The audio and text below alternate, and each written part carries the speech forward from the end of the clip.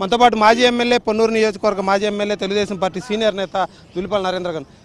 ఎప్పుడు కూడా పల్నాడులో అంటే కొన్ని నియోజకవర్గాల్లోనే ఇలాంటి సంస్కృతి ఉండేది. ఈరోజు మొత్తం పల్నాడుకు కూడా ఈ రాజకీయం విస్తరించింది. ఫ్లెక్సీలు కట్టి చంద్రబాబుకు వ్యతిరేకంగా ఇవన్నీ చేసినటువంటి పరిస్థితి. ఏమనిపిస్తుంది? ఇప్పుడు ఒక పల్నాడు కాదు రాష్ట్ర వ్యాప్తంగా ఎక్కడికి వెళ్ళినా కూడా ఇదే ఒక విష సంస్కృతికి నాంది పలికారు. ఎక్కడైనా కూడా ఒక ప్రయత్నం చేయటం ప్రజల దృష్టి మరలించటం అధికారం ఉందని పోలీసులను అడ్డం పెడతాం ప్రజల మీద దాడి చేయటం తెలుగుదేశం పార్టీ కార్యకర్తల మీద కేసులు పెడతాం. ఇది ఒక ఆనవాయితీగా పరంపరగా కొనసాగుతా ఉన్న పరిస్థితి.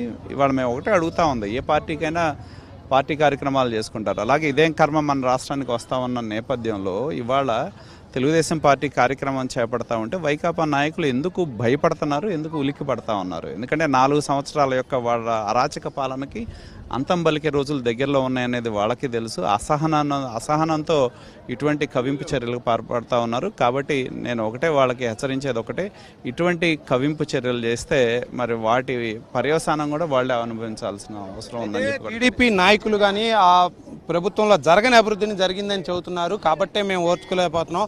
ఇలాంటిది వాళ్ళు అభివృద్ధి చేయలేదని నిన్న ఫ్లెక్సీలు కూడా కట్టారు.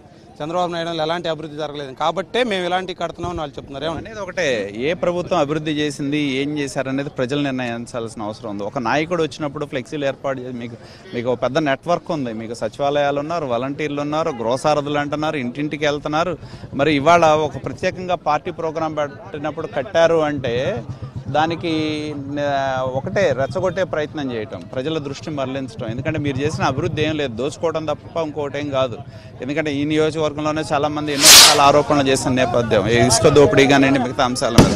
అటువంటి ఆరోపణలు ఎదుర్కొంటా ఉన్న నేపథ్యంలో చంద్రబాబు నాయుడు గారు పర్యటన చేస్తూ ఉన్నారు కాబట్టి ప్రజల తిరుగుబాటు ఎక్కువ అవుతుందనే ఉద్దేశంతోనే ఈ కార్యక్రమాలన్నీ చేపడతా ఉన్నారు.